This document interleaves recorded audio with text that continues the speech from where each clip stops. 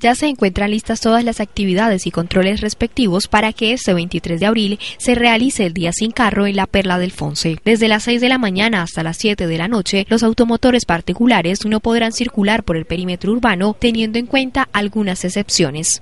Se hacen algunas excepciones, claro. Eh, por ejemplo, para empresas de domicilios, eh, ellos tienen que pasar una lista en la cual se corrobora que, toda que cumplan con todas las las, normas para poder transitar. Solo se va a dar para cinco domiciliarios por empresa legalmente constituida y que estén al día en pago de multas y, y revisión técnico-mecánica y así como seguro obligatorio. Sobre la vía nacional es posible el tránsito, precisamente eso no pertenece a la, a la a la, a la cabecera municipal o al centro histórico, que es en sí donde se pretende hacer es el, el día sin carro y por ahí el tránsito es normal, fluye normal, por ahí no va a haber ningún control, puesto que eh, se desplazan muchos vehículos que, que, no, que utilizan la vía solo para, para paso. La excepción de los viajeros es que si se demuestra que viene viajando por medio de un tiquete de peaje o algo así, la policía no tiene, no, no va a realizar ningún comparendo.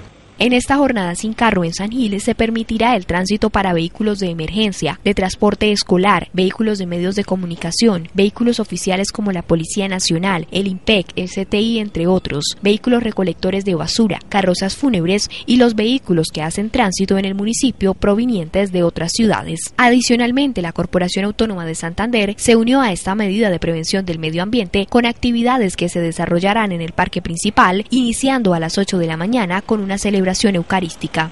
También se, pretende que el día de mañana se van a realizar unas actividades cívicas por parte de la casa. Eh, se va a llevar a cabo la pintura al parque. Eh, se recomienda que los ciudadanos que mañana deseen acercarse con camisa blanca, eh, se van a realizar muchas actividades, mimos de parte de la casa, así como también se va a medir el ruido y la emisión de gases.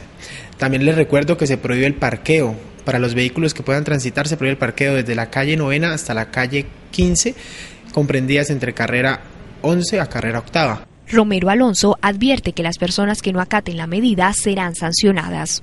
También les recuerdo que tenemos refuerzos de la Policía de, de Tránsito Departamental, la cual esto envía cuatro unidades móviles precisamente para controlar eh, esta situación.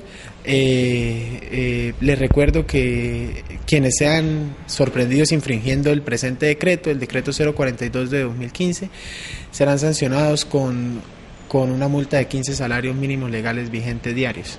El funcionario invita a la comunidad a ser parte de esta jornada que busca minimizar la contaminación de un municipio que está tomando auge de ciudad y necesita complementar su desarrollo sostenible.